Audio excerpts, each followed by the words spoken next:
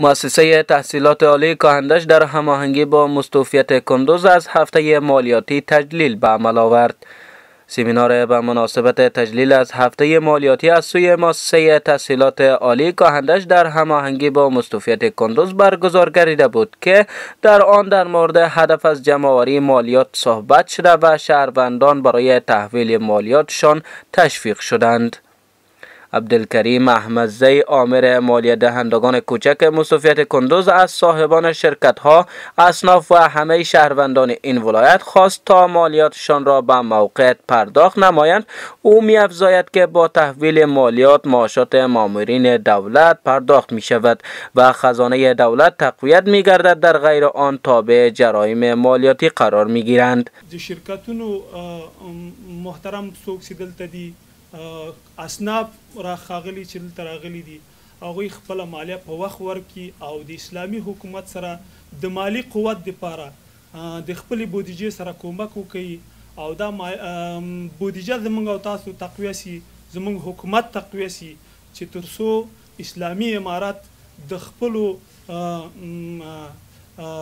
مامورینو دپاره هغه معاشات برابر کړي چې په وخت ورکولی وسي او کچېرته موږ مالیه ورنکو زکات ورنکو نو زموږ حکومت مالی بنیاد نه تقویه کیږي او اقتصادم صفر خواته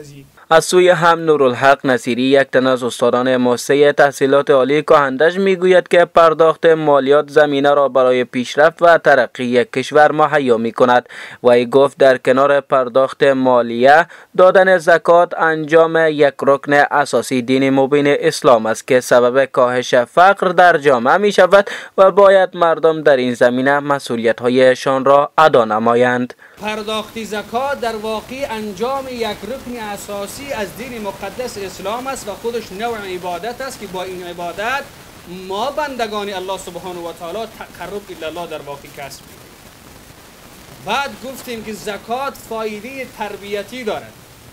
یعنی فایده تربیتش اینجا بحث می شود یک انسانی که زکات را پرداخت می کند در واقع در صف سخاوتمندان قرار می این در حالی است که پس از سقوط نظام جمهوریت در کشور و روی کار آمدن حکومت امارت اسلامی حالا مسئولین امارت اسلامی از جمعآوری اواید از چشمه های آیداتی و بلند رفتن اواید مالیاتی در کشور خبر می دهند. حسیب حساس تلویزیون اورانوس کندوز